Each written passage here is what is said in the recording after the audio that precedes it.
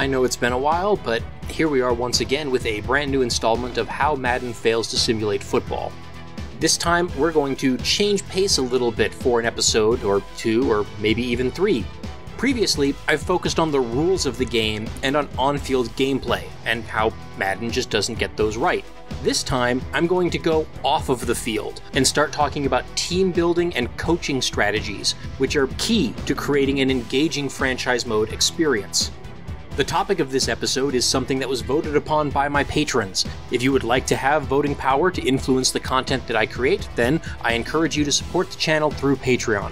Patron support helps to offset the cost of the server of my blog, the license for the software that I use to edit these videos, and any research material that I buy.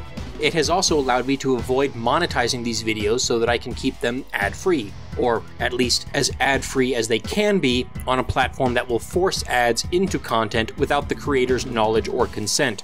I know there are ads in some of my videos, but I assure you, I didn't put them there. I'm not getting any money from them. YouTube put them there, usually because someone flags some copywritten material in my video somewhere. In any case, the COVID years have been hard on a lot of people, and many of my patrons had to discontinue their support due to financial hardships. So I want to take a moment to wish all my former patrons the best. I hope that 2022 treated you better, and that 2023 will be even better yet. I'd also like to thank my current patrons and those who stuck with me. To all my patrons, past, present, and future, thank you for your support. It really does make a difference. Now let's talk football. I'm writing and editing this video in the month or two leading up to the 2023 NFL Draft, so this topic will actually, hopefully, be kind of relevant at the time that this video releases, which should be sometime around the draft. One of the ways that Madden is most different from real life football is that in Madden, the exact skill level of every single player in the league is known to everybody all of the time. Because of the way that Madden implements player attributes and progression and also regression, users don't have to evaluate player talent at all, ever. In the vast majority of cases, ordering your depth chart is just a simple matter of sorting the players by their overall ratings, and if it's not the overall rating, then usually it's a single other attribute rating that determines who starts and who doesn't. Usually it's speed. For example, I personally favor kick and punt returners with higher speed, and usually put my fastest reserve player as my starting returner. At least on kickoffs, I might go with like a better catching returner for punts so that he doesn't fumble, uh, assuming that that particular iteration of Madden even supports muffing punt returns, which isn't even a case on a year to year basis. But anyway, yes, there are some edge cases where a user gets to make judgment calls about which player better fits your particular playstyle. But for the most part, it's all about that overall rating, and there are virtually no actual decisions to be made. This means that there is no mystery or question about which player or players are actually good which players aren't so good, and which players might be outright busts. It also means that Madden doesn't have true position battles. One player is objectively better than the other in the vast, overwhelming majority of cases, even if it is just marginally so. It means that there's no question whether a free agent or trade will be an upgrade over the players already on your roster. It means that there isn't much value in testing out rookies in the preseason because you already know exactly how good those players are and whether they are deserving of a starting position or roster spot based on their overall ratings. All of the intrigue and what ifs that go into roster movements and decisions in the NFL front offices are simply non-existent in Madden because so much of the game is based on these absolute numeric ratings that are completely open and transparent to everybody. Just think of some of the big questions from early in the 2022 season. Is Mitchell Trubisky better than the rookie Kenny Pickett? Should Devin Singletary get more carries than James Cook? How about Tony Pollard or Ezekiel Elliott? Should the Packers look to Allen Lazard or Sammy Watkins to replace the lost productivity of Davante Adams? Will Nakobe Dean play well enough as a rookie linebacker for the Eagles, or should they stick with their veteran starter from last year? Is Bailey Zappe better than Mac Jones? Is Trey Lance better than Jimmy Garoppolo? And hell, who would have thought that Brock Purdy, the dead last selection in the 2022 draft, would turn out to look so good? I can tell you that based on the rating he was given in the original preseason rosters, the rating adjusters at EA and Tiburon sure as heck didn't see that coming. When the 49ers lost both Trey Lance and Jimmy Garoppolo to injury, they were left with a decision to either play their third string rookie Mr. Irrelevant or go look for a veteran free agent. There were certainly some available.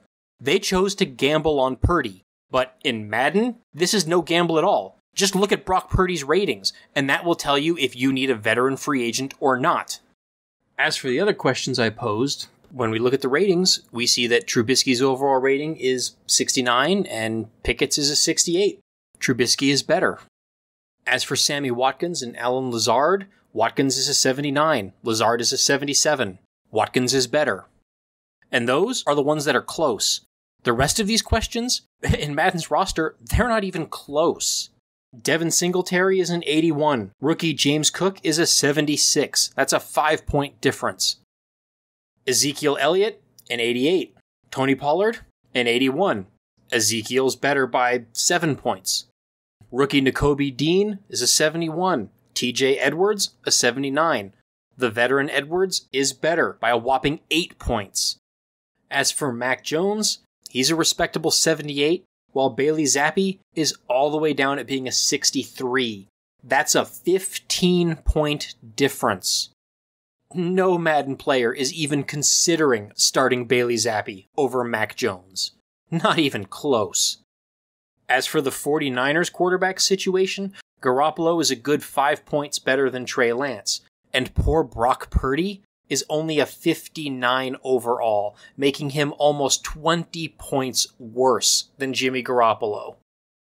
And hell, Tom Brady was a sixth round draft pick who, if not for an injury to Drew Bledsoe, might never have been anything more than a journeyman backup. if only.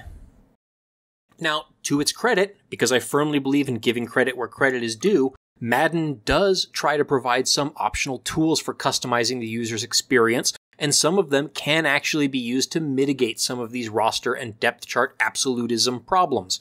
For example, I like to set my fatigue and injury settings higher than the default in my franchise mode, and I also raise the auto sub threshold for many positions. This adds some value to rotational reserves in situational positions like third down running back, pass rushers, or sub linebackers, because the starting running back, defensive lineman, or linebackers will be more likely to be fatigued when these situations come up, and so might not be playing to their fullest potential.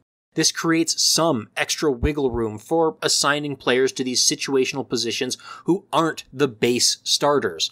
But this only goes so far, and CPU teams don't really have very sound substitution logic or strategies. They just put the best player at the top of the depth chart at every position and only sub them out if they're actually below the auto sub fatigue threshold. And honestly, I'm not sure if the CPU teams use the same substitution thresholds as the user team, so they might get substituted out even less frequently than mine do.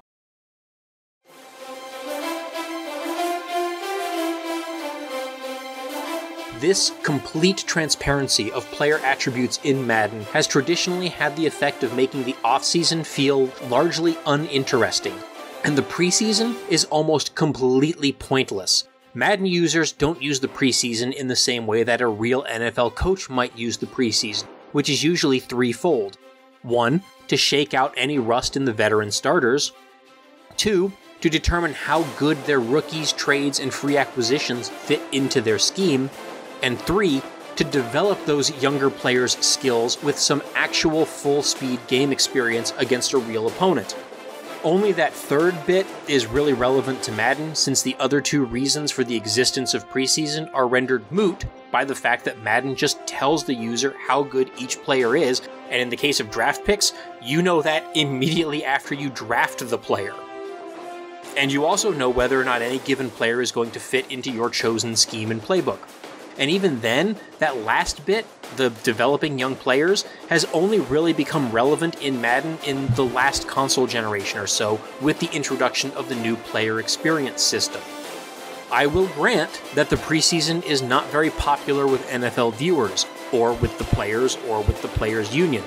I would be willing to bet that most Madden users don't care much for playing the preseason and probably skip it in their franchises. This is partly because most users probably don't think the preseason is meaningful football and don't see much value in playing it. It's probably also due in large part to the fact that Madden has historically failed to provide any mechanics or systems to make the preseason worth playing. But I personally think that the preseason is an underrated part of the current generation of Madden games, and also a part of the game that more users should be playing. And if you've already seen my video on the preseason being my favorite part of Madden, then you probably know where I'm going with this. One of, if not the biggest successes of the modern incarnation of Madden's franchise mode is that it has actually introduced mechanics and systems that have made the preseason more interesting and meaningful, at least with regard to developing young players. The biggest new mechanic, which was introduced in 2016 or 2017, is the practice squad. In older Maddens, when it came time to cut down to 53 players, those cut players would just disappear into the free agency pool, where they would stagnate and never develop. Another big change is the move from stat based end of season ratings progressions towards a more RPG like experience and level up mechanic. Players gain experience from practicing and from playing in games, and breakout performances can grant large, immediate attribute ratings boosts.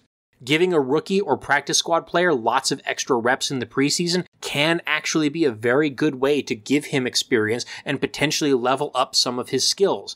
Even if he won't end up in your 53 man roster right now, he can be stashed on the practice squad for a couple of years until he does level up enough that he is a viable starter or backup.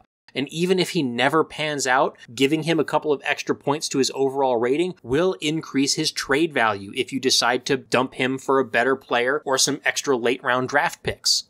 The last new design element that makes preseason more worthwhile is that some players in modern Madden have hidden development traits, which require the player to play a certain number of snaps in a live game before the trait is unlocked. This is the one and only place in which a characteristic of a player is hidden to the user unless you play the player on the field. And you have to play that player quite a bit. You don't just put him in for one quarter of one preseason game and suddenly know how good he is. He'll have to see plenty of playing time in the regular season too. This means that playing a lower rated player over a slightly higher rated player might actually be beneficial because it unlocks that lower rated player's hidden dev trait sooner, and you might find that he'll gain more experience and level up faster than the higher ranked player to the point that he might actually become better. And the preseason provides a perfect opportunity to get some extra reps for such players and to unlock those hidden dev traits a little bit sooner. Madden 23 also introduced player tags. These don't have much of an impact on player talent evaluation, but they do give the user something else to consider when building a roster, and they do have the potential to give some value to certain players beyond just their overall ratings. Personally, I found that the mentor tag in particular is very valuable. I will often sign low rated veteran mentors as backups behind my younger developmental players and draft picks. These design elements of preseason give the user more judgment calls to make and encourage a little bit of experimentation and creative play calling. I wish that Madden would take these ideas a step further and extend them to the entire season and over multiple seasons. And I wish that the CPU would be programmed to have to play its own reserve players in order to figure out how good they actually are. And EA, Tiburon, if you're not going to program the CPU to sub deeper into its own roster for preseason games, then at least give us users the ability to alter the CPU's depth chart in preseason games so that I can actually play my third and fourth string backups against the CPU's third and fourth string backups instead of having to play my deep reserves against the CPU's second stringers and even some starters. It's just, it's not fair. Come on. But even though the preseason is much more valuable in modern Madden as a developmental tool for improving young players, it still does not serve those other key attributes of the preseason, in that it is not a necessary part of evaluating player talent. And this problem carries over into the regular season and beyond.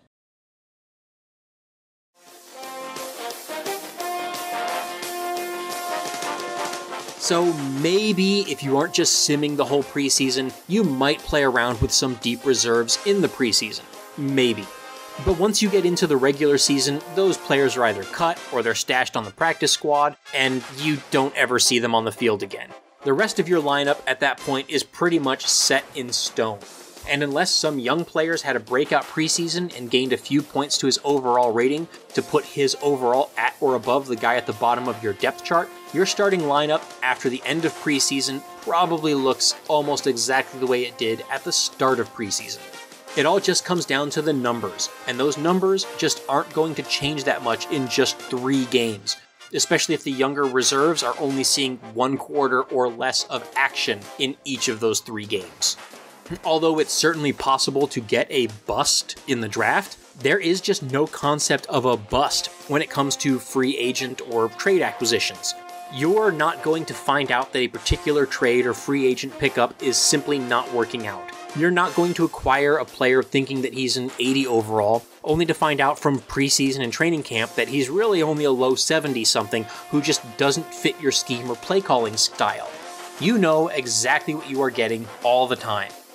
Oh, and while we're on the topic of the draft in Madden, I do have a nagging pet peeve that I want to get off my chest, and I don't know if I'm going to have a better opportunity to do it anytime soon.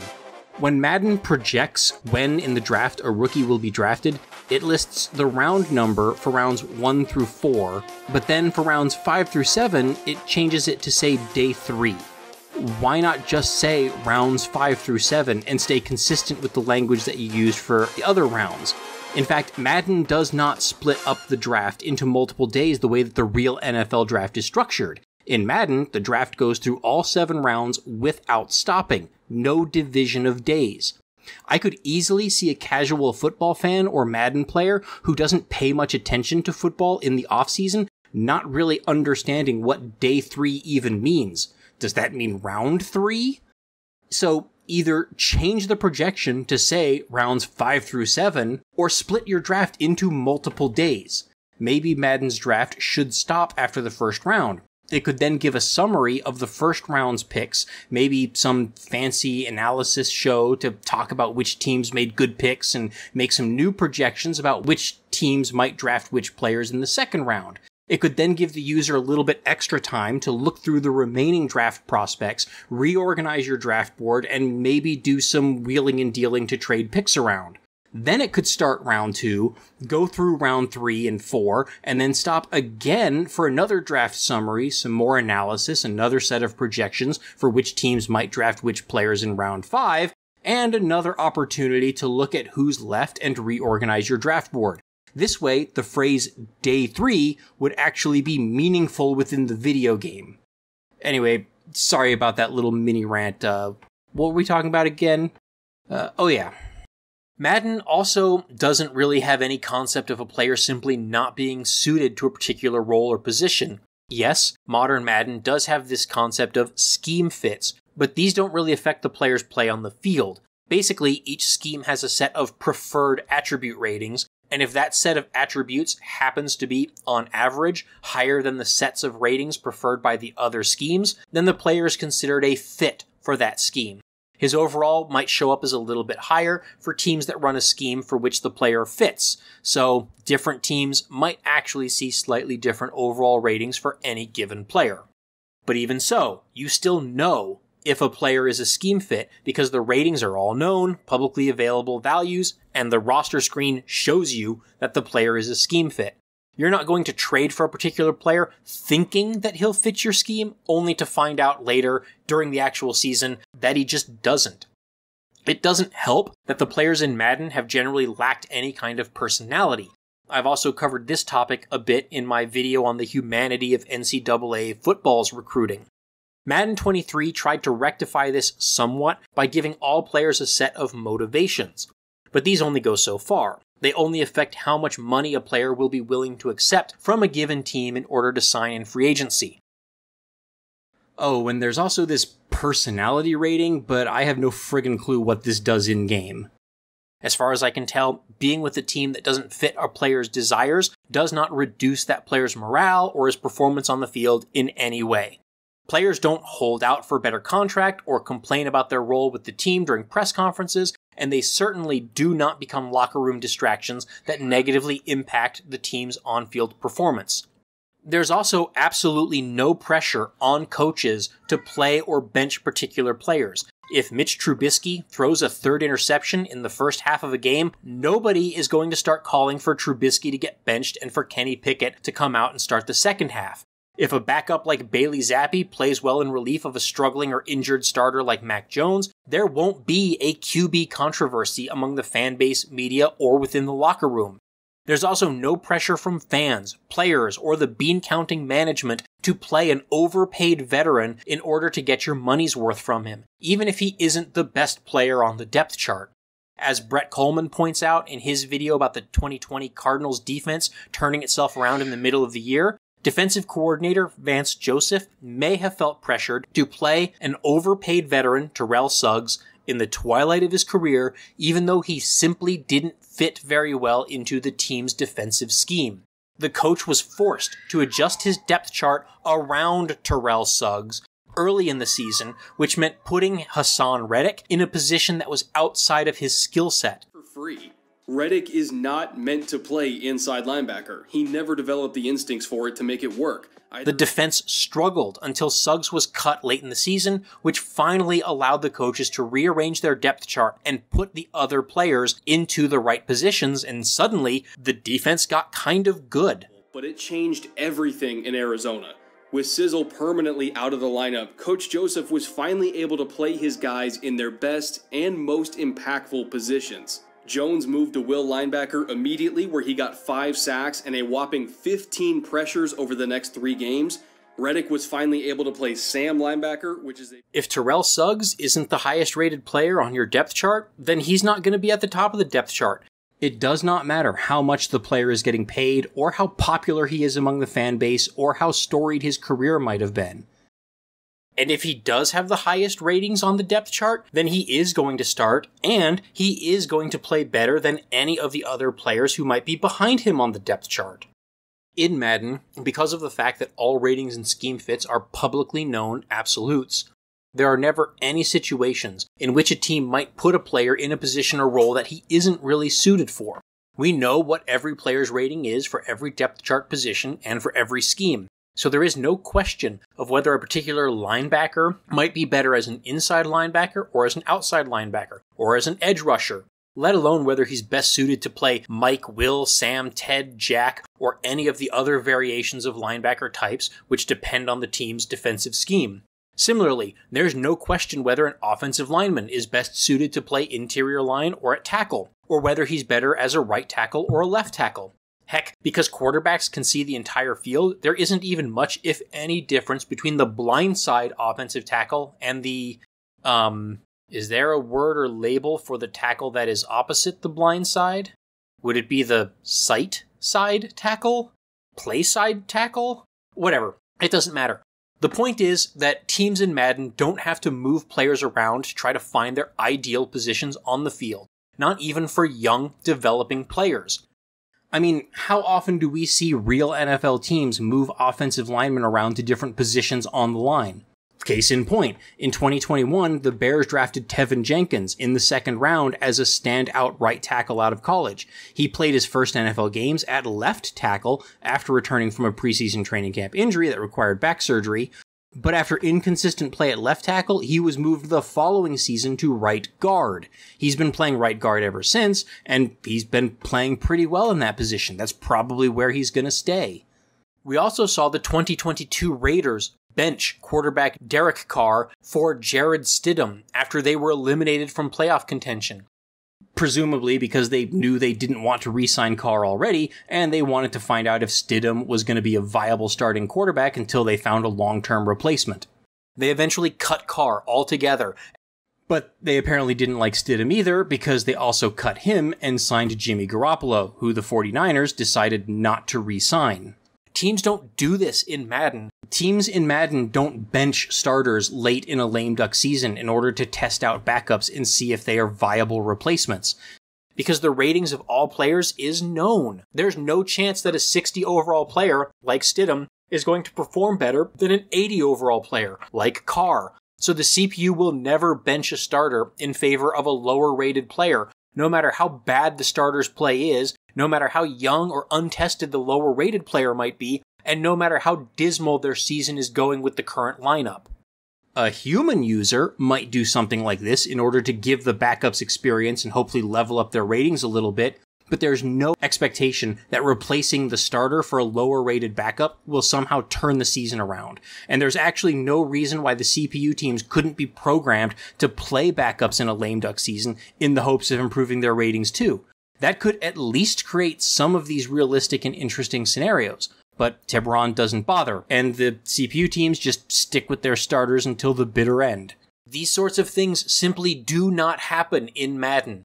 Knowing exactly how well a player will perform means there is virtually no ludic pressure to ever make roster moves during the season. If you've ever been playing a franchise in Madden and the trade deadline comes and goes without you even noticing, this is a big reason why.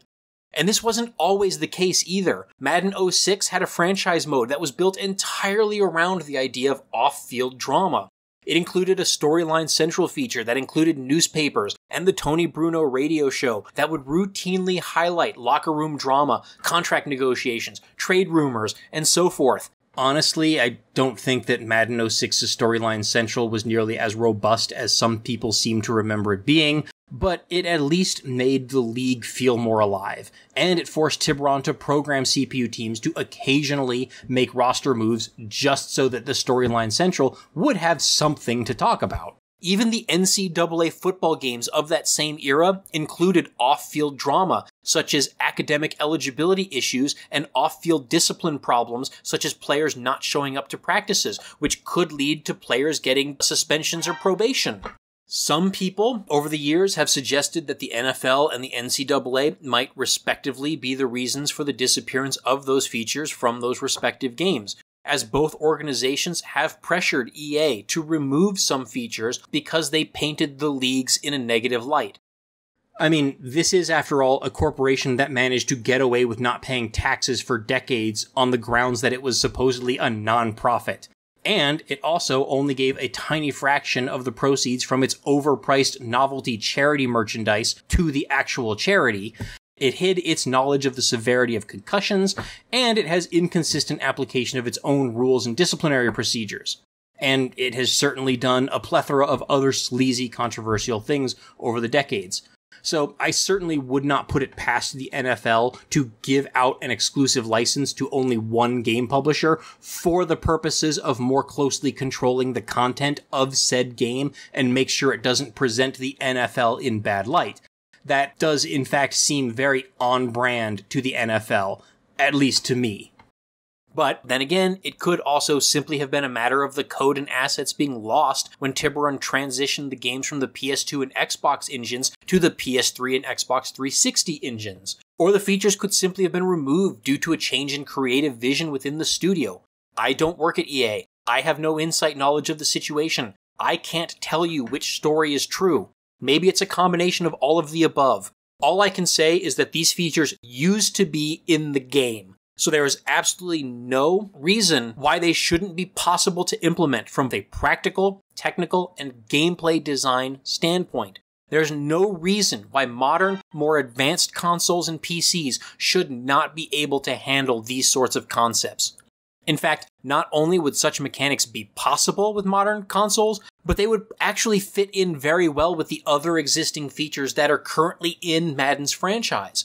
The current game already has morale ratings for players. It has the aforementioned experience and leveling system with the possibility of breakout performances. It has these little press conference mini games. It has the concept of scheme fits and specialized roles. And it has these new tag and motivation features that could be used to help define a player's personality and priorities. And it has make believe social media feeds and news headlines that are supposed to highlight the drama going on around the league.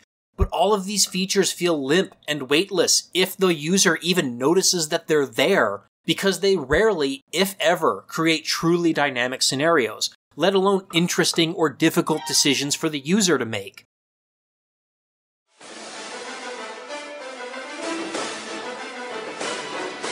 So now we get to the meat of the episode.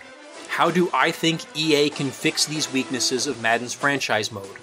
Well, in terms of creating some off field drama, all they need to do is look back at what the game was doing 20 years ago.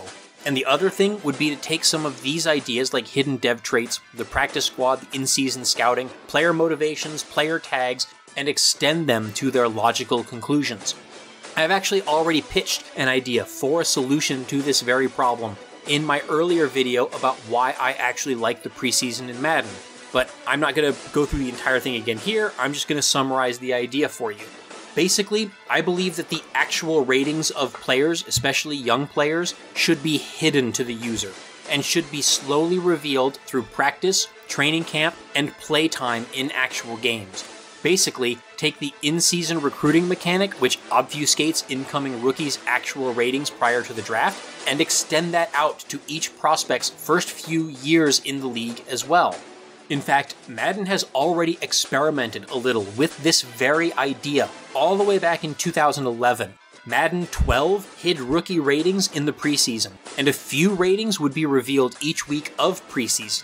This mechanic kind of sucked back in 2011 for a variety of reasons, but I think it would work way better now, since it pairs better with the features that have been introduced into Madden in the intervening years.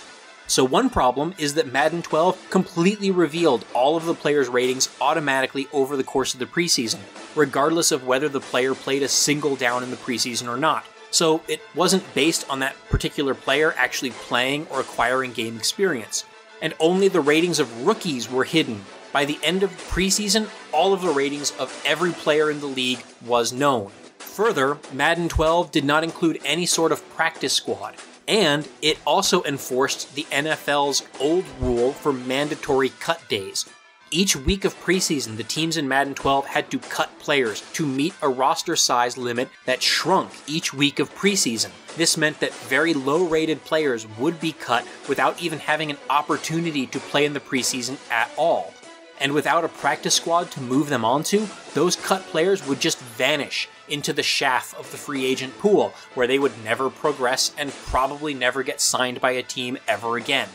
That rule has since changed, and the real NFL teams can now carry 90 players into the final preseason game. And modern Madden games now have an actual practice squad, although modern Madden games still lock us at 75 players instead of the actual limit of 90 players, but whatever, that's a different issue. This mechanic from Madden 12 is another textbook example of yet another problem that I've discussed in past videos, which is EA's tendency to cut underdeveloped features from Madden instead of actually trying to iterate on those features. However, as I've also mentioned in a recent video, the past years of Madden have actually seen a little bit of a reversal of this trend, as recent Madden games have taken relatively successful mulligans on features that were introduced several years prior but didn't initially work out for one reason or another. So maybe it's time for modern Madden to take another stab at that old Madden 12 idea. A revision of this mechanic could be extended out to be a season long process, such that the player ratings are revealed gradually over time through weekly practice reps and by game reps. Practicing the player and playing him during the preseason should reveal his ratings sooner than just practicing and playing starters. Further, those players can play in all three preseason games since we no longer have to meet arbitrary cut quotas each week of the preseason. And if any player's full ratings are not revealed by the end of the preseason, we can stash him on the practice squad and continue to evaluate and develop him over coming years instead of having to just cut him. Perhaps part of the pre-game preparation for preseason games should include deciding how many possessions or quarters to let the starters play, how long you decide to leave them should be based on how young and inexperienced your team is. If you have lots of veterans with known skill sets, maybe they only need one drive to shake the rust off. If you have a bunch of younger players, rookies, and free agents, then you may need to leave them in for multiple drives to evaluate how they play in your system. Once the starters have been subbed out, CPU teams should also substitute deeper into their depth chart as the preseason game progresses. The CPU should focus on giving more playtime to younger players with less experience and whose skill ratings are still mostly unknown. In real life, of course, determining who to play, when to play them, and how long to play them in the preseason is a much more complicated calculus. Star veterans don't see much, if any, preseason action at all. A player like Tom Brady or Aaron Rodgers, A, has a very well known skill set, and B, makes too goddamn much money and is too valuable to the team to risk a major injury in a meaningless preseason game. So a player like that may be pulled out of a preseason game early or just not play at all, even if the rest of the starters stay on the field longer. So, yeah, the system that I just proposed may not accommodate that very well, but I'm also not really asking it to because that is admittedly kind of a lot. But it's at least better than the system that Madden uses now, in which starters play for the first half or first quarter, and then the second string plays the rest of the game with no substitutions deeper into the depth chart at all. The important thing here is to make sure that rookies and deep reserves see some playing time for evaluation and developmental purposes. If it means that superstar veterans play a little bit longer than they would in real life, whatever, that's okay, because we still get to see the deeper reserves later in the game. Besides, Madden's current preseason substitution logic already has starters playing for longer than they typically do in a real life preseason game, so it's a wash in that regard anyway. How and when ratings are actually revealed could also be open to different design decisions by EA. Maybe ratings are slowly revealed automatically based on how much the player plays and practices. Or maybe each time a player gains enough experience that he levels up, some of his true ratings are revealed as well. And maybe there could be a training camp before the preseason that allows each team to automatically reveal certain ratings for players. And there could also be coach abilities that could allow teams to reveal some extra ratings as well. This could also open the door to a playable training camp feature. Perhaps after the off-season training camp, each player is given a camp grade for each player, which indicates how well that player performed at camp. Players who perform very well at camp may get an experience boost when they get to the preseason and regular season. This creates a mechanical incentive to give that player more playing time, even if it is just a rotational role.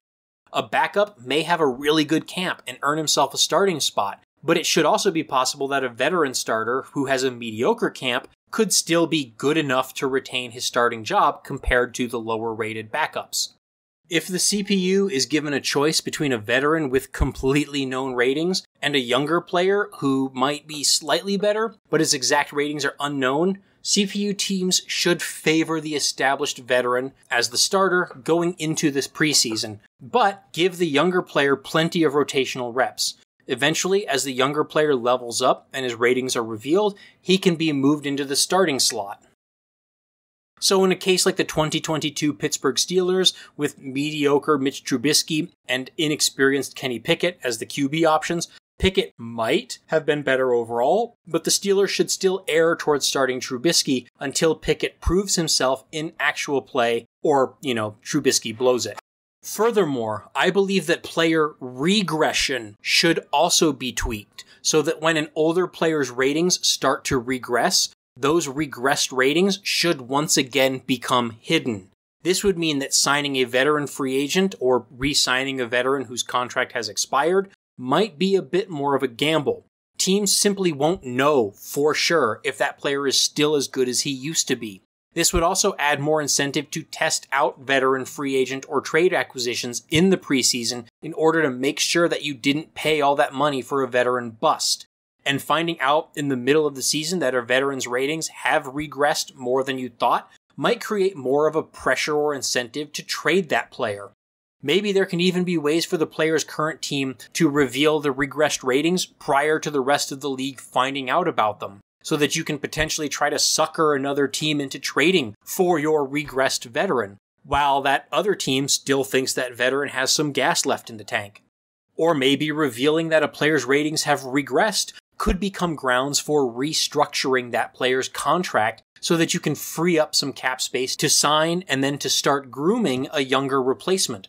This could be especially viable if the veteran has a mentor tag. Even if he physically isn't capable of playing his position at a high level, he could still be worth keeping on your roster for a couple years in order to teach younger players and progress them faster.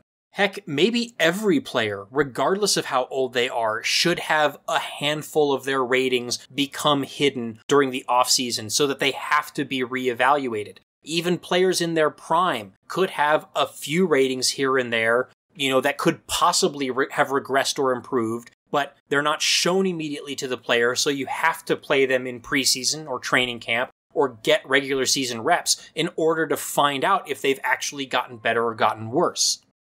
This could also affect a player's scheme fits. If you don't know his exact ratings, you might also not know if he's still a good scheme fit. For example, if an edge rusher has lost a few steps in speed, maybe he's not a great edge rusher anymore. In that case, maybe you can try playing him, playing him at an interior position, or you can try trading him to another team who's willing to take a gamble on whether that player will fit into their scheme or not.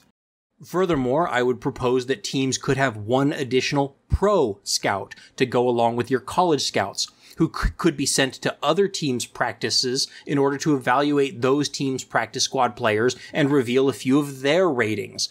Or maybe that pro scout could be used to evaluate free agents before you actually sign them.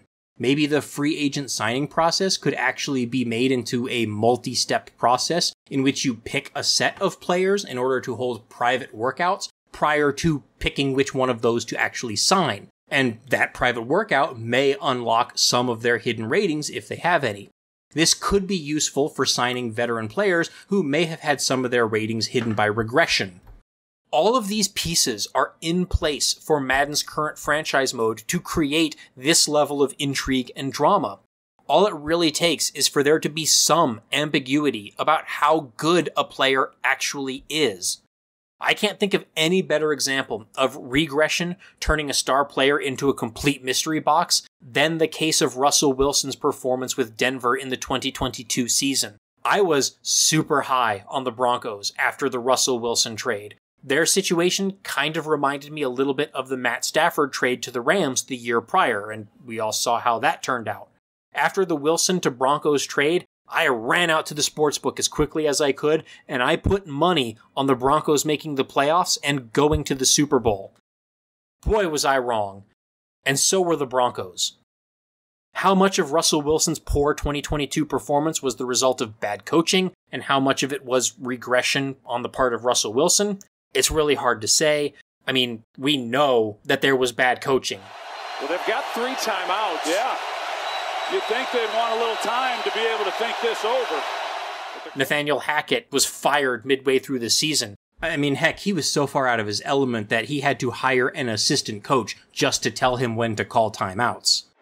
The fans are doing all they can to help out this Denver offense. They're helping by counting down the play clock so there's no more delay of games. Fans trying to help out this offense, Andrew. Where were they in the first half? That's a good one, Michael. Haven't heard that one before. But Russell's play was also not very good. Was this just a bad year, or was it a sign of permanent regression? Has Russell Wilson lost a step and isn't the QB that we all thought he was? Will Russell Wilson be good next year with a hopefully more competent coach, assuming that he doesn't retire? Who knows? I sure as hell don't know. Do the Broncos know? Probably not. But if this were Madden, everybody would know exactly how good he's going to be next year, because we can just look at his ratings.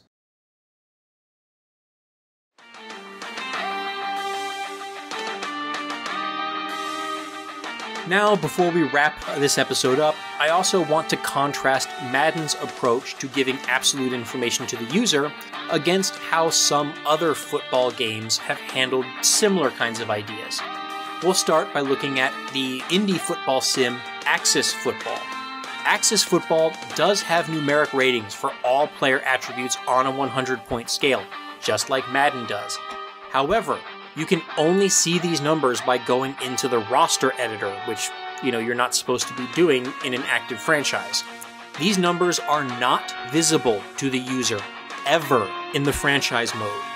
Instead, Axis Football gives letter grades for each player's attribute ratings, just like in school, you know, A, A minus, B plus, B, and so forth, all the way down to F.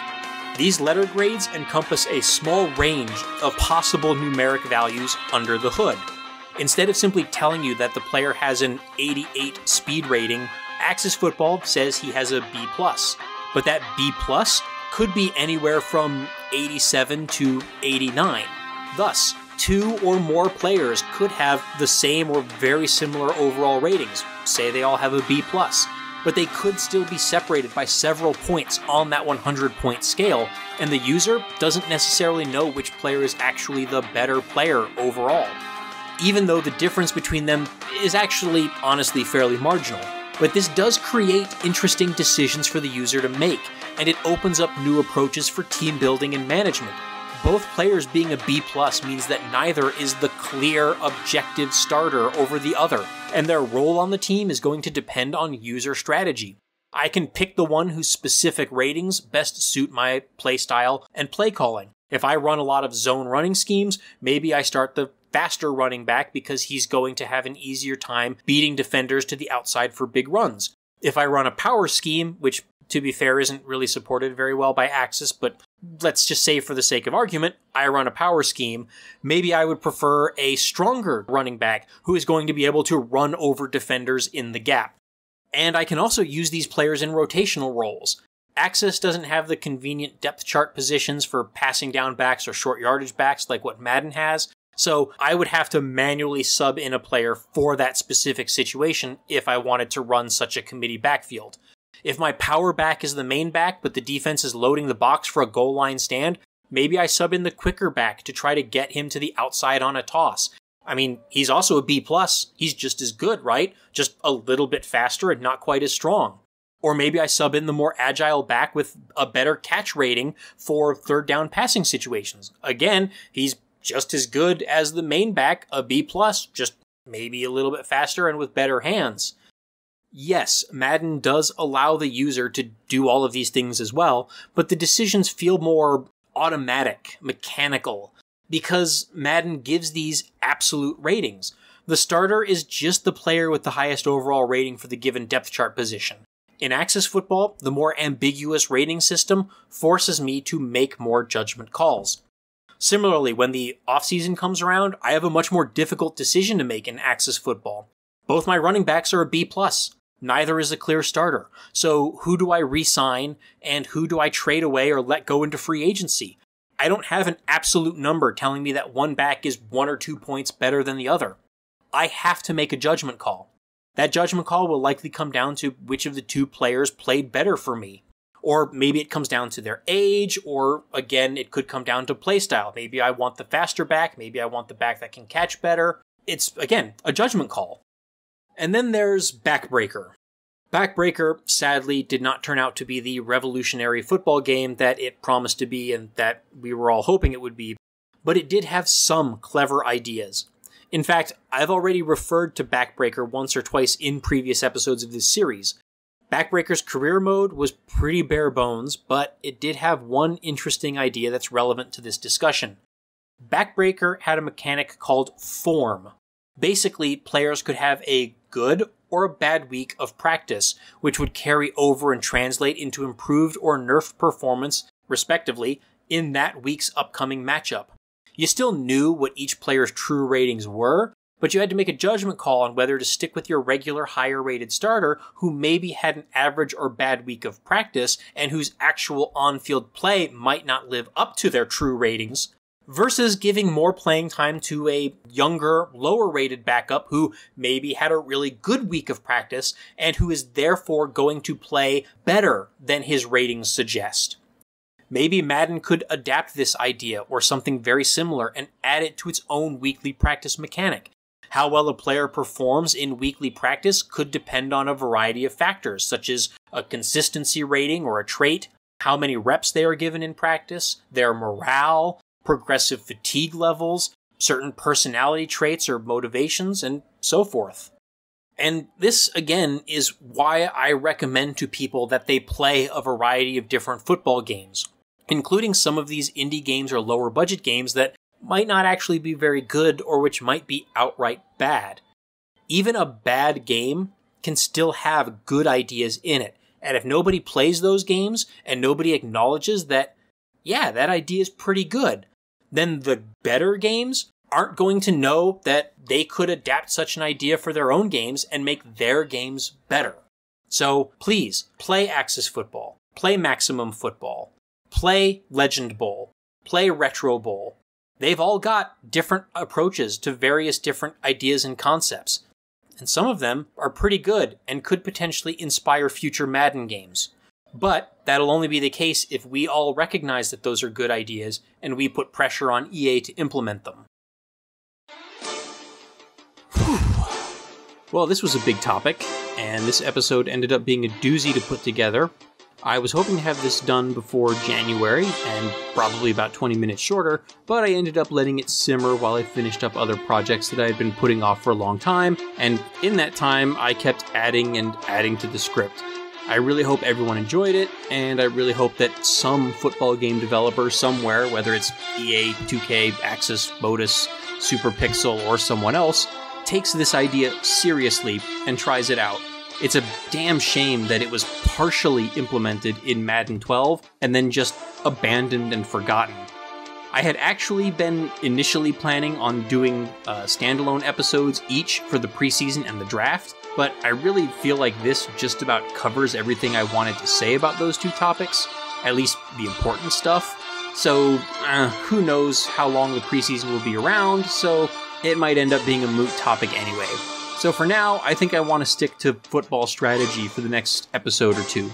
Specifically, I think I might talk about the lackluster efforts that Madden and other football games have taken towards game planning and in game strategy. So stay tuned, please subscribe, like, share, comment, and check out the Patreon page. And, and as always, thanks for watching.